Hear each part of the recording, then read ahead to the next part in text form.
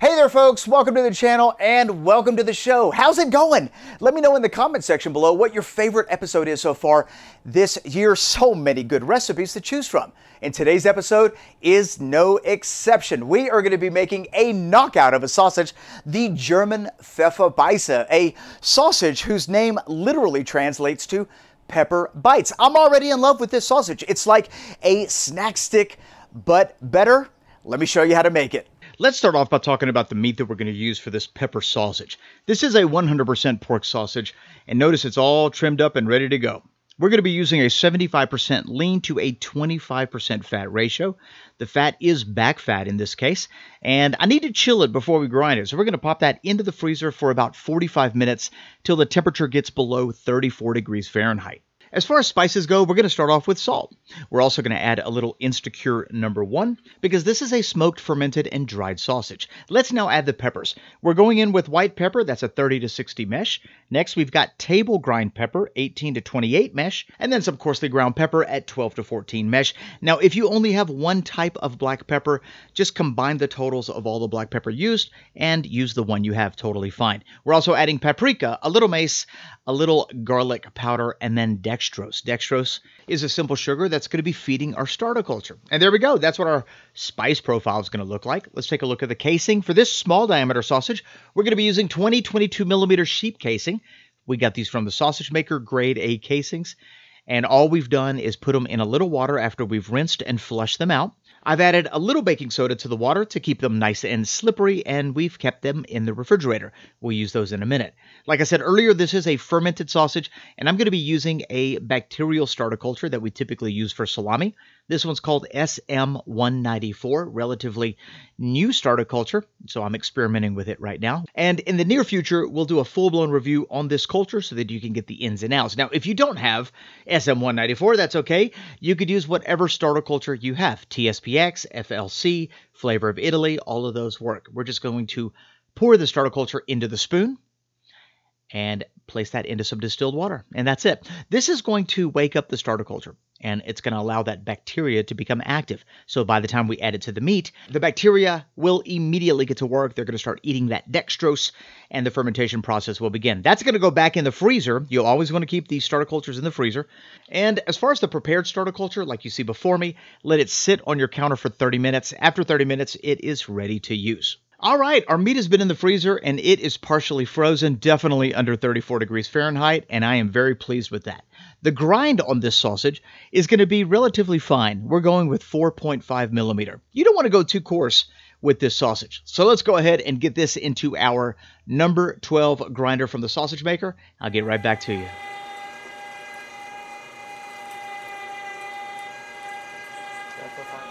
Nice and easy.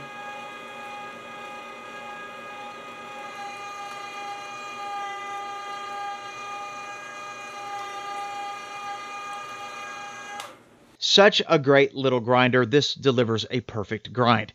Very pebbly, and I love the particle definition between the fat and the lean. And that's what happens when your meat is partially frozen.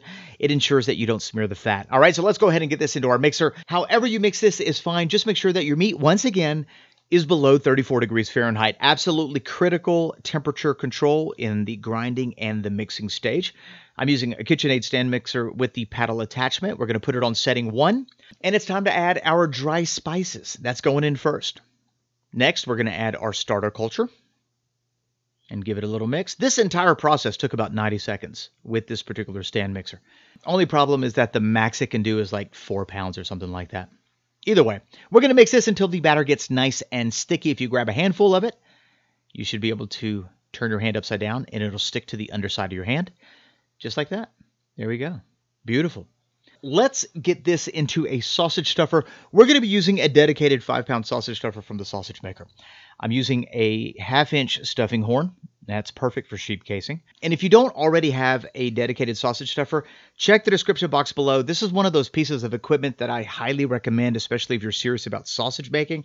And it doesn't have to be huge. This one's really economical, uh, but it will greatly improve the quality of your sausage because it doesn't generate a lot of heat. And that's really what you want when you're stuffing your sausage into your casing. As I'm filling the meat into the hopper, I'm trying to minimize any air pockets. So I'm kind of pounding it down with my fist And that's basically what it's going to look like. So once you get that completely full, in this case, we're only doing a couple pounds, get it onto your base and let's load the casing onto the horn. The easiest way to do this is to lubricate the horn with a little bit of water, open the casing just a bit, and then dip it in the same water that it's been soaking in. That's going to help lubricate it from the inside.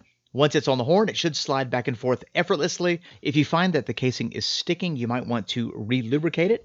Let's poke a hole right there at the end for air to escape and get it going.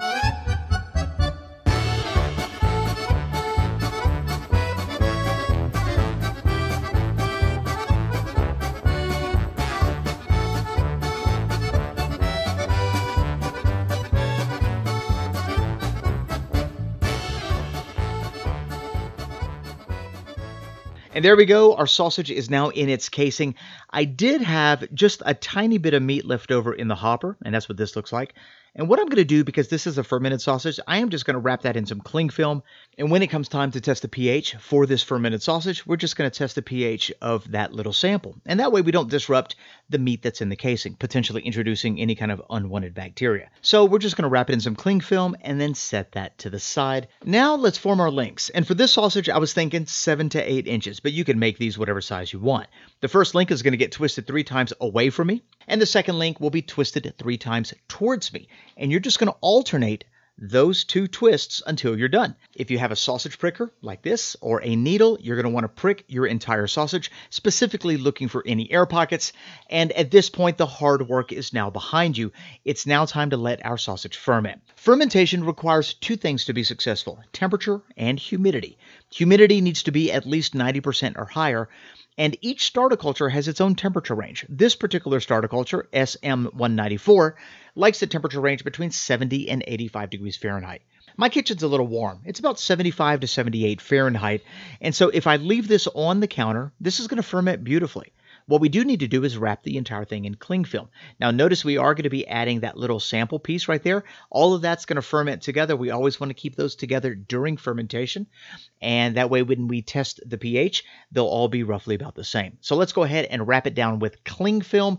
This is going to trap the humidity inside that little area, keeping it relatively high, 90-95%, which is perfect. And being that the temperature is exactly what it needs to be for fermentation, I'm literally just going to leave this on my counter. But fermenting meat is not particular. As long as you can give it the right temperature and humidity, it'll be fine. Put it in a biltong box. Put it in your oven with the oven off but the light on. Put it in an ice chest with a heating pad. It really doesn't matter.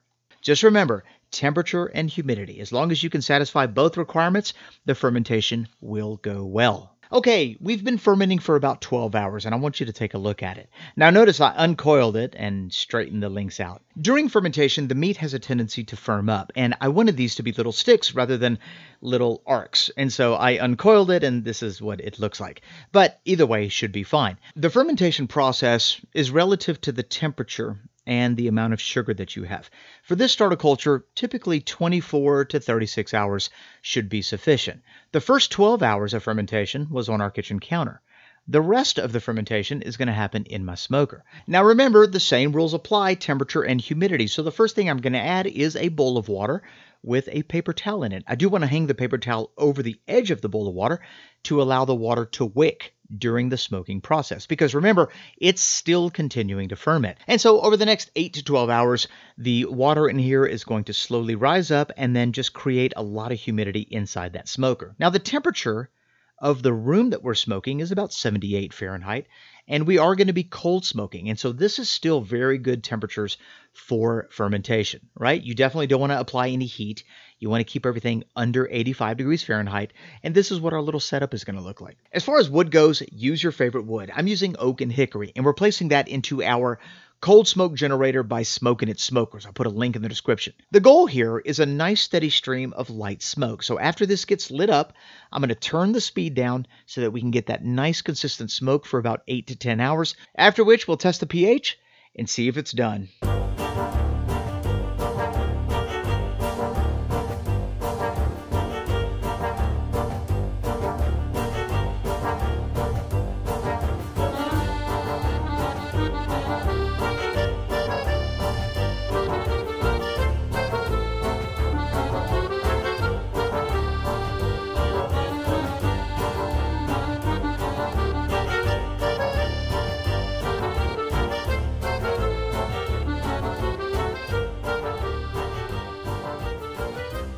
It's now time to test the pH of our Pfefferbeißer. After about 24 hours of fermenting, notice that it's glossy, it's a little firm, it no longer looks like raw meat. We're looking for a pH of anything below 5.3. I'm kind of targeting anywhere between 5.0 and 5.2. And if you want one of these pH meters for free, in tomorrow's episode, we'll be giving one away. Be sure to check the pinned comment for a link to that video. All right, so all you got to do is stick that pH meter in the meat it gives you a very accurate reading 5.16. Perfect. That's exactly within the range of what I'm looking for. This meat is properly fermented, it's smoked, it's now ready to begin the drying process. So we're going to go ahead and remove it from the smoker. Now remember, cold smoking the entire time. And we're just going to go ahead and place this into a drying chamber. The drying chamber that I'm using is from the sausage maker. And the reason I need a drying chamber is because I don't live in an area that has, you know, the right temperature and the right humidity. You really need a temperature of about 55 Fahrenheit or 13 Celsius and a humidity of about 80% so that it can dry properly. And this drying chamber can maintain those parameters perfectly. Now, if you happen to have a basement or a cellar where you can achieve that temperature and humidity, you could just hang this sausage in there. It'll be totally fine. All right, these sausages are going to hang out in there and dry for anywhere between one to two weeks. If you let it dry for one week, it's going to produce a slightly softer sausage. If you let it dry for two weeks, it's going to be a little more firm, and the flavor is going to be slightly better developed. The temperature, like I said earlier, should be around 55 Fahrenheit or 13 Celsius, and the humidity should average anywhere between 75 and 80%.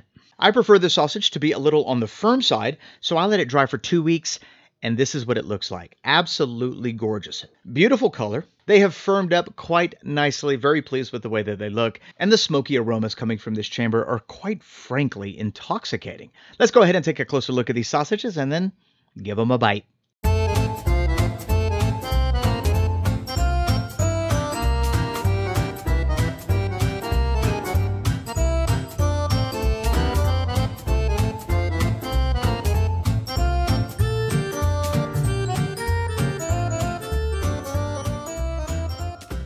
All right, guys, it's time to try our Pepper Bites sausage, the Pfefferbeißer. Check that out. Absolutely gorgeous looking dried sausage, which I am a huge fan of. I'm also a huge fan of pepper, so this should be pretty spectacular. Let's give it a taste. Mm-hmm. Woo! This is scrumptious. I mean, talk about a tasty pepper bite. It's super tender, incredibly fresh tasting and flavorful, and it is certainly pepper forward. Truth be told, I could probably use more pepper, but that's just a personal preference. The way it is right now, absolutely delicious. I'm loving how smoky it is. It's got this very fresh, smoky quality about it. And the sausage itself is on the firm side, but without being dry. So it's got this really great bite to it. I'm loving how creamy the fat is without making the sausage greasy. And the fact that the meat was fermented and dried not only elevated the flavor of the meat, but it also concentrated the flavor of the meat. I let these dry for about two weeks and they are nice and firm, which I really like. If you like a softer pepper bite, then you might want to let it dry for only one week, give it a taste, and see how you like the texture. If you want it a little more firm, let it dry for a few more days. The choice is yours. Now, there will be a recipe link in the description box below, and I got to tell you right now, after giving this a taste, we only made uh, one kilo, which is a little over two pounds, and we did not make nearly enough. This is absolutely delicious, and I sure do hope you get a chance to make it. If you have any questions on this German Pfefferbeißer, leave me a comment in the comment section below, and if you like this video, give it a great big thumbs up. Don't forget, tomorrow is the drawing for the number 12 Sausage Maker Pro Series grinder. If you have not yet entered to win that grinder, I'm going to put all the details in the pinned comment. Be sure to enter. It's not too late, and I hope you win. If you're new to this channel and you like sausages, click that subscribe button and that notification bell. Don't even hesitate. We got all kinds of sausage recipes on the horizon for you to enjoy. Thanks a lot for being here.